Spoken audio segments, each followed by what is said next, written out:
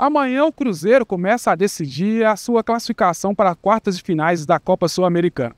E a gente vê as ruas perguntar aos torcedores o que não pode faltar para o Cruzeiro conseguir uma vitória lá na Argentina diante do Boca. Então vem com a gente conferir o que disse a Nação Azul. O que, que não pode faltar para o Cruzeiro para conseguir uma vitória amanhã lá na Boboneira? Cara, tem que ter raça. Primeira coisa é ter raça. O time ele é bom, é um bom time agora com os novos reforços que o Pedrinho trouxe para nós. A raça acima de tudo, né? E outra coisa, o Matheus Pereira joga bola, porque tá, tipo assim, ele tá em excesso. Tem hora que ele erra uns passos que não pode errar. E aprender a fazer gol, né, cara? Pra ele ser o melhor jogador camisa 10 do Brasil. Matheus Pereira e gol, né?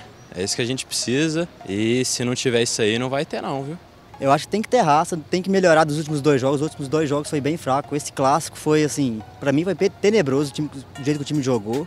Parecia que estava sem vontade em campo. É, dá para ganhar lá do Boca. Eles estão lá um ano sem, sem perder na bomboneira, mas assim, não é o melhor Boca de todos os tempos, longe disso. E eu acredito na vitória e, e fechar aqui no Mineirão, passar, passar de fase, tranquilo.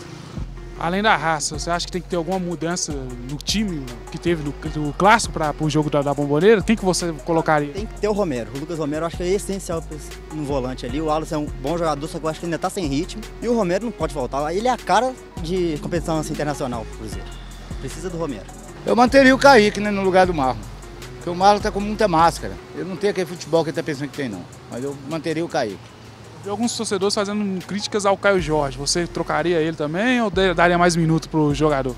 Não, deixa o rapaz se, se entrosar legal ali, pode deixar também. O Caio Jorge, eu acho que ele tá precisando de um banco para ele conseguir, pra conseguir mostrar o potencial dele ainda, sabe? Você precisa de um banco para melhorar? Eu quero ver o Dineno, hein? Eu não quero que jogue.